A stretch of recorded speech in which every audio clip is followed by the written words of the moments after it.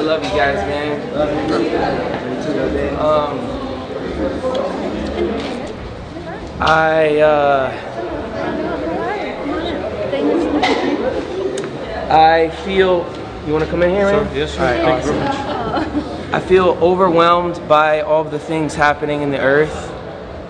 Um, it saddens me tremendously. Um,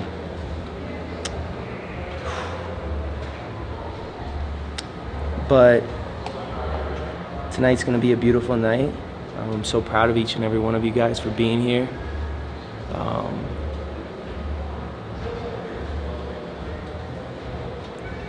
it's just, it's just insane. I don't even have words. My heart is overwhelmed. Um, and uh, I just feel really, really, really honored.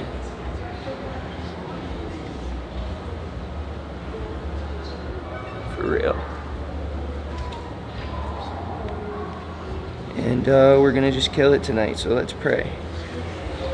Um, God, we thank you for this night, and we thank you for the people of Mexico, and we thank you for the gifts that you've given us.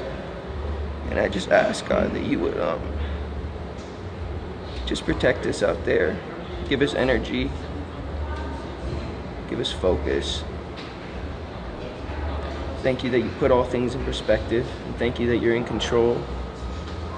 And uh, we just need you now more than ever. Thank you so much for all that you're doing in our life and all that you're going to continue to do in Jesus' name. Amen.